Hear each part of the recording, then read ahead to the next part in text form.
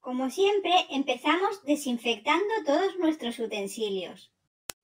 Mira, estos son los ingredientes. Os lo dejo todo en la cajita de información bien apuntado. Necesitaremos un envase de rolón. Lo podemos limpiar bien, desinfectar con alcohol y ya lo tenemos. Es muy fácil. Cogemos una jarrita, le echamos el agua destilada, el agua de rosas, el alcohol, la glicerina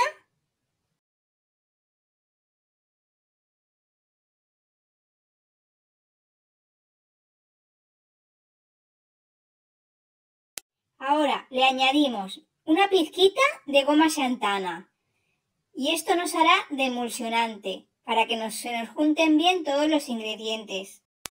Y lo batimos.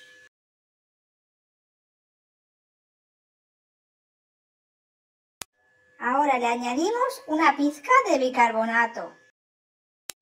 Y batimos otra vez.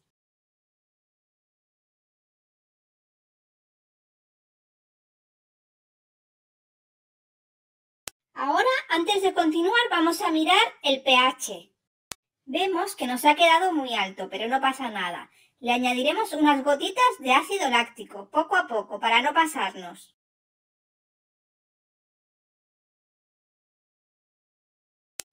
Miramos otra vez el pH, ¿veis? Ya ha cambiado de color.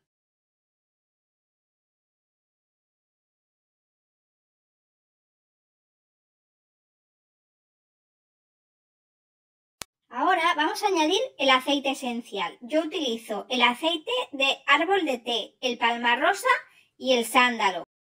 Echamos unas gotitas de cada aceite esencial. Yo utilizo estos, pero vosotros podéis usar los que vosotros os gusten. Lo movemos con la cucharita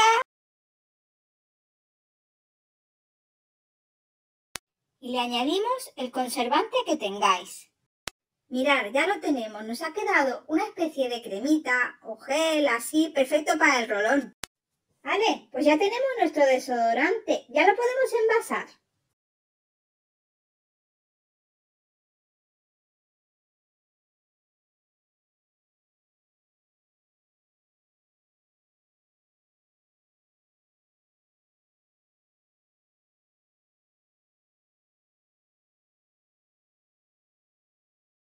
¿Qué os ha parecido mi receta? Una receta fácil, práctica, muy económica. Si te ha gustado, suscríbete y dale a like.